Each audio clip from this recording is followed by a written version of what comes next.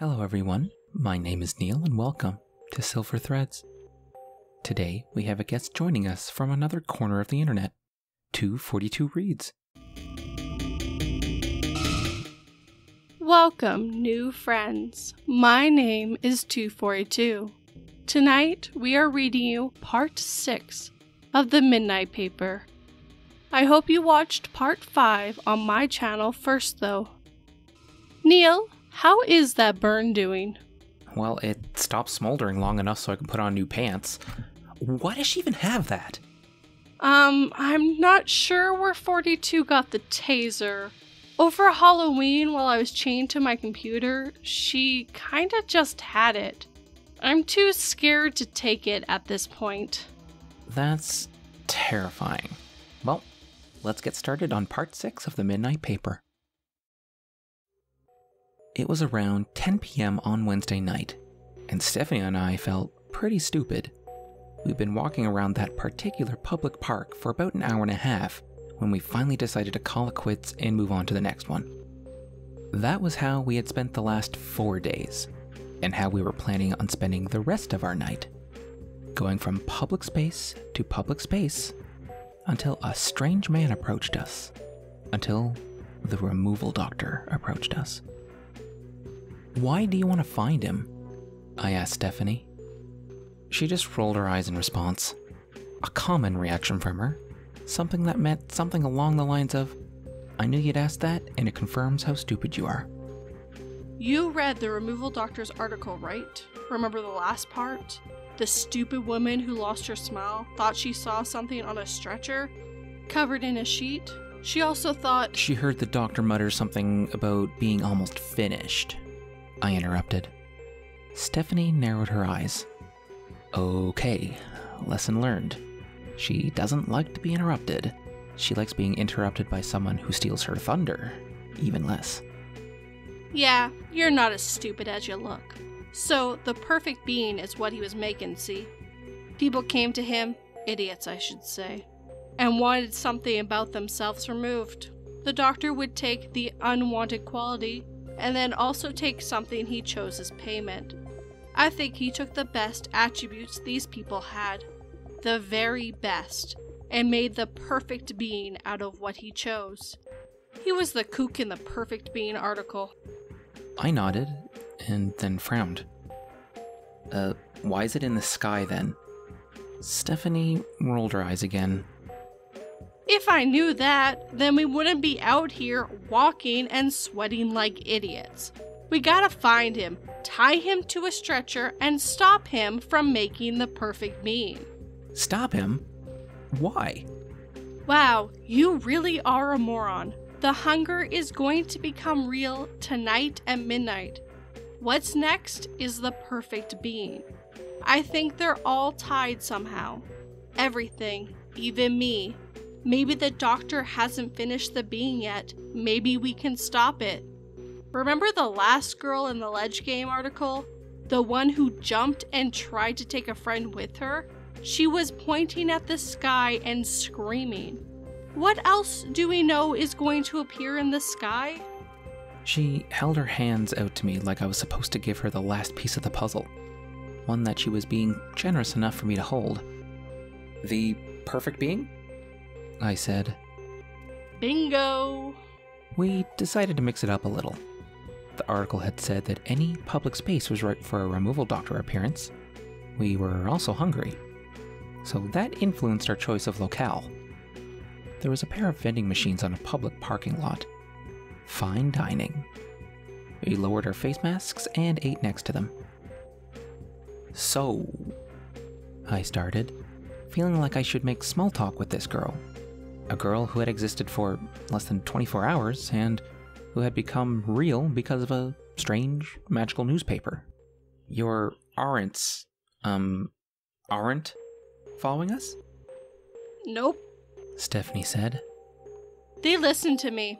I told them to get rid of Bailey's body and to watch the house. They'll probably run some errands for my asshole parents too. Errands? What kind of errands? They gather ingredients for a new version of me, and no, I don't know what they are or where they're getting them. They don't do it if I follow them, and they only bring frozen petri dishes and DNA in test tubes to the house for storage. So your parents don't work at your house? Sometimes. It depends. Look, I don't know much about the fuckers, alright? They don't want me to. All right, I said. We don't have to talk about that if you don't want to, I don't want to. she said. Would you like to talk about your dad? About how the Midnight Paper probably killed him? I winced a little. I tried to hide it by taking a sip of my soda, but it was a pathetic attempt. I don't know if. Oh, come on. The mirrors and TVs were covered, right? Probably because of an article in the paper about mirrors and TV monsters or some shit. They probably killed your mother, too. That's enough, I said. I get it. I'm thinking about it too. You don't have to be nasty like that. Sorry, fine. You should finish up your Snickers anyway. Why? The doctor's in. Stephanie said, pointing at something across the lot. There, half hidden by what looked like the only tree in miles, was a man wearing black scrubs and a black face mask. Before we could even get up, the removal doctor was already almost in front of us. He moved quickly and quietly, scarily so. It appears that you are both already familiar with my services, the doctor said. He took out a small black business card. On it, printed in white ink, was an address. It looked eerily like the midnight paper. His voice was calm, warm, patient. Somehow, I got the impression that it was a therapist's voice. Maybe it had been. Once. Stephanie swatted the doctor's arm away. I don't need your fucking card because you're taking us to your weird ass clinic right now. The removal doctor nodded. If you insist. On the outside, the building looked like some sort of abandoned factory. It was made mostly out of brick, with several long chimneys that were currently not pumping out smoke. They probably hadn't done that in decades. The windows were smothered with soot, not giving anyone who looked through them the courtesy of looking in or out. I didn't need to think hard about why. The doctor led us up a ramp and through a massive loading door. It was open, unlocked as if he was expecting guests. We walked through the back door and into what looked like a brand new hospital. The floors were spotless epoxy. The walls were freshly painted white. There were LED strips lining the walls and floors. I looked at Stephanie. She seemed to be analyzing every square inch of the place. Her eyes were cold and distant. I couldn't tell if she was trying to find structural weaknesses or if she was memorizing the place to recreate it later. There were what looked like dozens of beds encased in white tents, each with several LED strips lining the floor around them. Through the white canvas, I could see shadows of several men and women, each with IV tubes, each with arms, legs, sometimes stumps, and slings hanging over the bed. We followed the removal doctor to the back of the room. It was exactly as the woman in the article had described a series of examination rooms tailor made for every medical field orthodontist, neurologist, osteology, cardiology. There were even rooms labeled with psychiatry and psychology. The doctor ushered us into his office, which sat exactly at the midpoint where all the doors to all the examination rooms converged. There was a desk there, charcoal black wood, with a black leather chair and two black leather chairs in front of it for guests, and nothing else. Nothing on the walls, nothing on the desk itself. Nothing but his desk and the chairs where we would soon be sitting. The removal doctor sat and motioned for us to sit. Stephanie beat him to the punch. She practically hopped into her chair. Okay, She said, you've got a nice office. Congrats. Now you're going to tell us about the perfect being. I could tell that the removal doctor was smiling under his mask. You seem to know a lot about me. Understandable. Understandable. Why? Stephanie asked, leaning so close to the doctor's desk that her chin was practically touching the wood. Because you've been my patient.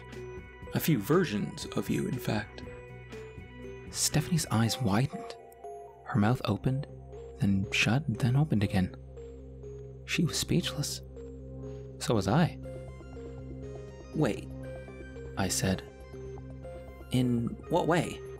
Did you make Stephanie too? The doctor chuckled. no, she's not my creation. She's not perfect, contrary to what she or her parents might think.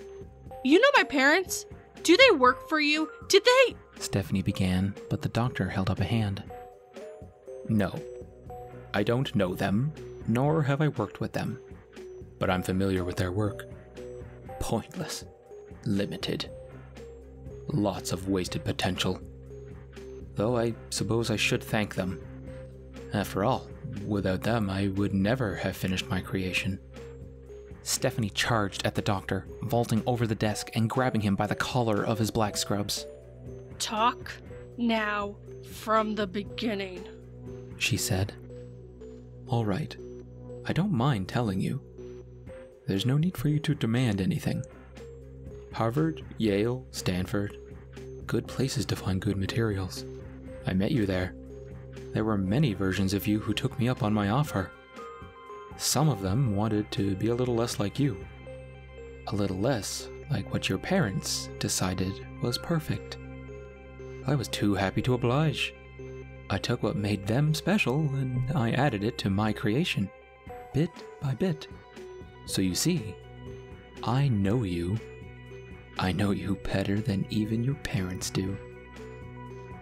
Stephanie had heard enough. She slammed her fist into the doctor's jaw. He didn't even wince, didn't even recoil in the slightest. Where's the thing you made now? It's done. It's not like anyone, not even like you. When I put the final piece in place, it took flight. Beautiful to witness. It'll be back soon. You'll see it, and you'll thank me. Stephanie collapsed back into her chair. I had never seen her look so defeated. She wasn't smart enough, wasn't fast enough, wasn't strong enough. For the first time in her life. Do you know about the midnight paper? I asked. The doctor shrugged. Never heard of it. Okay, you're coming with us. Stephanie said. I'm keeping my eye on you till this is all over. The doctor nodded. My work is done here anyway. It was after midnight by the time we were on our way back to the motel. Stephanie was quiet the rest of the way, as was the doctor. It was weird seeing both of them staring out of my windows in my car like two fictional beings come to life and judging the world around them for the first time. When we arrived, we found what I already knew was going to be there. There, on the filthy rug in front of our room, was a bundle of black pages. Ah, the doctor said. The midnight paper. Stephanie and I locked the doctor in our motel room and sat underneath one of the hall lights. She had an eager, almost scared look on her face as she waited for me to unroll the paper and begin reading it out loud. I was beyond not reading it. It was too late now, anyway. I soon came to regret that idea. I began reading it to Stephanie. End times. Conditions in upstate New York worsen. It is now a little after midnight, but the sky is far from dark it appears that the locals were right. The sky is broken. There are streaks of white light in the sky, running as far and wide as the eye can see. They look like cracks, said one resident. Like cracks in the sky itself, and something's coming through. We can't help but agree. It seems like a nightmare, but it isn't. And one question keeps running through the mind of everyone who's witnessing something that should be impossible. How did we get here? The answer lies in the story we printed just last Friday. Back then, it seemed almost cute. A piece about a strange aerial phenomenon in a small town in upstate New York. How wrong we were. The object labeled as the perfect being appeared to be a man shaped thing floating in the sky. It roughly resembled Da Vinci's Vitruvian Man, and with what appeared to be regular human arms and legs making an X shape. Since that Friday, it descended slowly, falling to the earth at a steady pace, not picking up speed as it should have. The closer it got, the more people started to realize that it wasn't something as innocuous as a person shaped balloon or kite or drone. It wasn't a prank.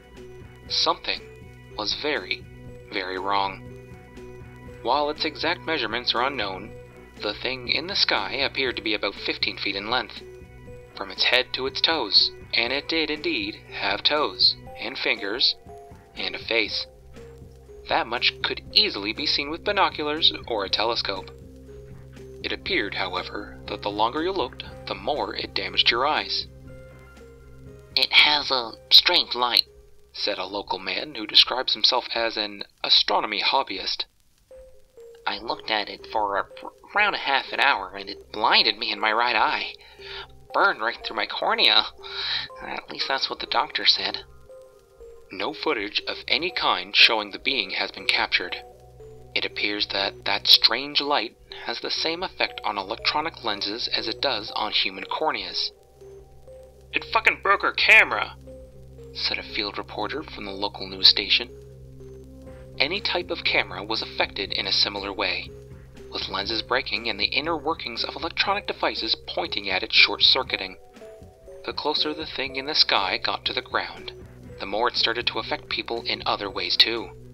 Residents of the small town of fell to their knees upon seeing the thing, creature or person, up close. It wasn't uncommon, in these early afternoon hours, to hear people praying, to see people praising the strange phenomenon as some sort of divine being. Then it dipped beyond the hill on the horizon toward another town, one that was currently under law enforcement lockdown. Ammonia leak, said a man stationed at one of the many roadblocks surrounding the town. Built up in the sewage system. The pipes underneath the whole town exploded and hurt residents. Can't say more. Cleanup is ongoing. Clear the way. As more and more onlookers from the neighboring towns attempted to breach the roadblocks and military checkpoints, the personnel stationed there were forced to use tear gas and rubber bullets to disperse the crowds. They're barbarians, said a woman who was hit in the leg with a rubber bullet, fracturing her shin. They just opened fire without warning.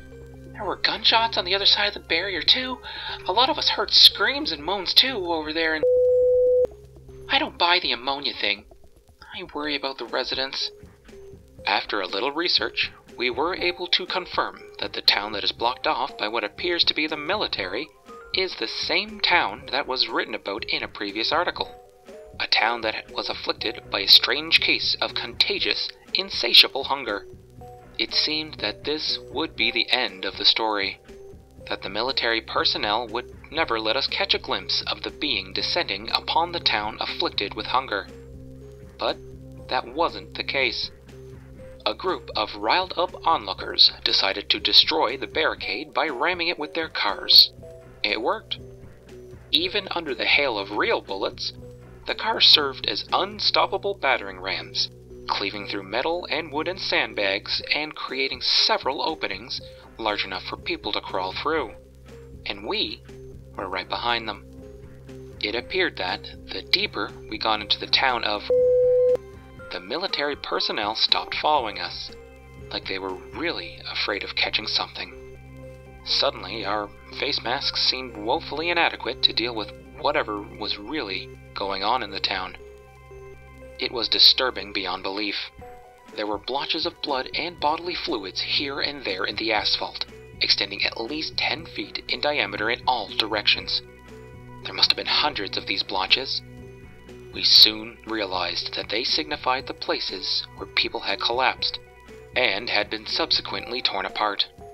We discovered the culprits soon enough men, women, even children, literally bursting out of their clothes. Their stomachs were swollen and distended to the point that their very skin was bruised and bleeding, as if ripping under the pressure of whatever they had consumed. Their faces were the worst part. Their mouths were wide open and constantly expelling a steady stream of drool, like broken faucets. Their teeth were chipped and fractured. the spaces in between them so crammed with what looked like strips of jerky and fragments of bone that they were literally cracking under the pressure. It wasn't long before these people began attacking the new arrivals. They caught them on the ground. We'd rather not describe the rest. A few people managed to get away and hide in the houses. It was there that we witnessed what happened next. The being in the sky descended upon the town. It was massive, 15, maybe 20 feet tall. It had no genitals, and it was impossible to discern its gender from the shape of the body or the features in the face. The face was beautiful, angelic, like something Michelangelo would have painted, masterfully crafted. Weeping and falling to one's knees seemed to be a common reaction to looking upon it. Even the bloated people fell to their knees, only looking up when the being's feet touched the asphalt. Then it smiled, a loving, welcoming, forgiving smile. And the people charged it. They ripped at it with their bloody fingers, chewed with their broken teeth. Hundreds and hundreds of them, spilling out of the houses like rabid rats, crawling over each other and pulling and pushing and biting so they could get a piece of the golden, shining, blinding flesh of the being. Then, all at once, the air began to ripple, to crackle, as if under some strange electricity. We saw cars begin to lift up into the sky.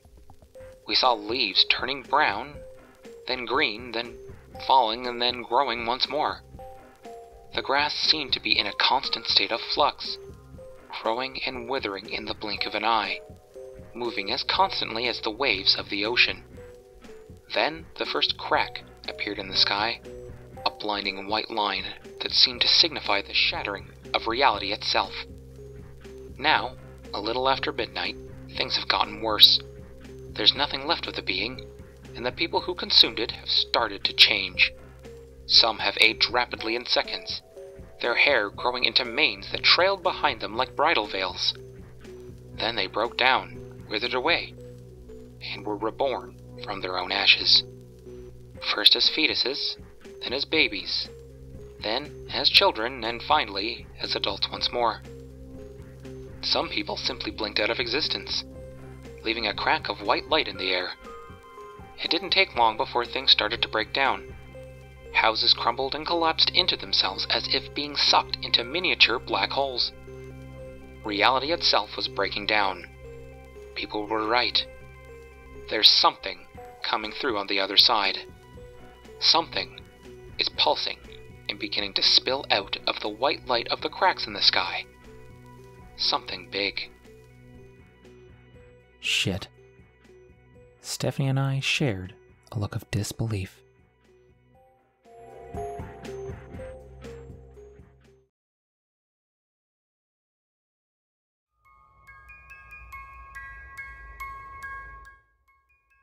If you liked the video, please like, comment, and subscribe.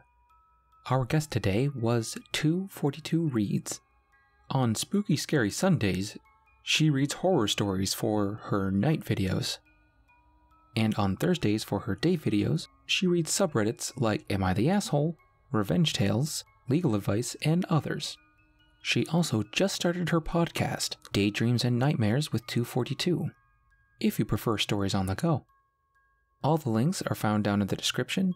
Go over to her channel and do the subscribey thing and the bell thing. You guys know what's up. As you might be aware, I also have my own podcast, the Silver Threads Podcast, which is available on most popular podcast platforms. Thank you so much for letting me read this part with you. So sorry about 42. Sleep tight, everyone. Thank you, To_42, for being so awesome to work with. As for you listeners, I'll see you next time with another story.